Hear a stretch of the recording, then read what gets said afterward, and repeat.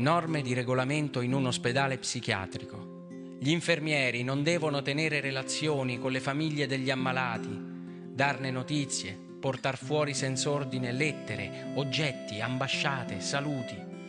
Né possono recare agli ammalati alcuna notizia dal di fuori, né oggetti, né stampe, né scritti. In questa lettera, datata 1914, le parole di un padre costretto all'umiliazione di chiedere ai figli i soldi per le sigarette, costretto quasi a supplicare una risposta che possa tranquillizzarlo, che possa farlo sperare in un ritorno a casa. Queste parole, mai giunte a destinazione, ci rendono una straziante testimonianza della sensazione di solitudine che si doveva provare in un luogo come il manicomio.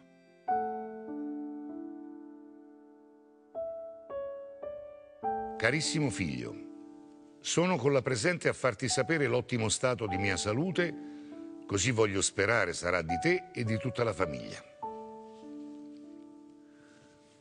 Io non so proprio cosa pensare di questo tuo ritardo nello scrivermi, che a momenti è un anno che non ricevo più notizie di voi altri e credi che sto molto in pensiero.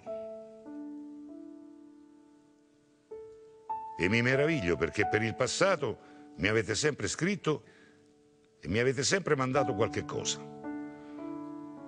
Ora io non so se vi siete dimenticati di vostro padre, che per il passato mi avete sempre voluto bene e credo di essermelo meritato.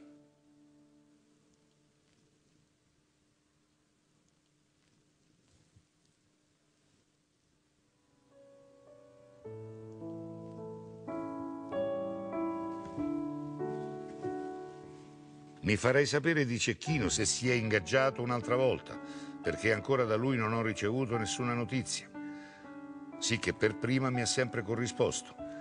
Mi raccomando dunque a te che tu mi faccia tanto la carità di rispondermi, perché credi che senza vostre notizie sto molto, ma molto male e spero che mi farai contento.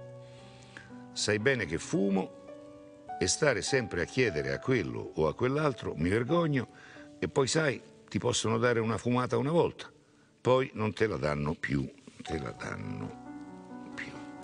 Dunque mi raccomando a te, se tu mi puoi assistere col mandarmi qualche cosa, pensa che sono tuo padre, senti magari ancora Cecchino e fra tutte e due guarda se mi potete contentare.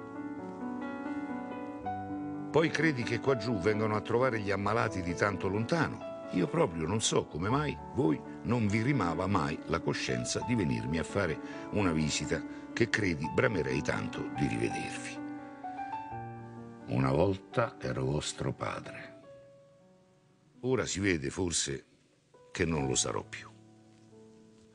Riceverai intanto tanti saluti e baci, ne ripasserai ai bimbi, a Vincenzo, a Cecchino, a Sandrino e a tutti di casa Tanti saluti a tutti gli amici e chi dimanda di me.